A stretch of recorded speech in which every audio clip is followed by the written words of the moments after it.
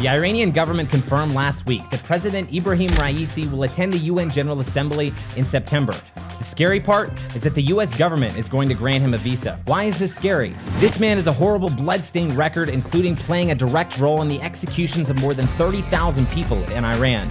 Just last Wednesday, the U.S. Justice Department unsealed an indictment against a member of Iran's Revolutionary Guard for plotting the murder of former White House National Security Advisor John Bolton.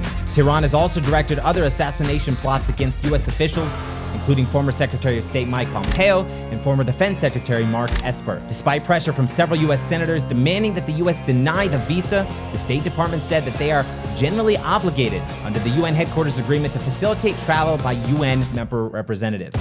The question remains why are we granting a visa to the leader of a regime who actively threatens American officials on American soil and who is known in his own country as the Butcher of Tehran?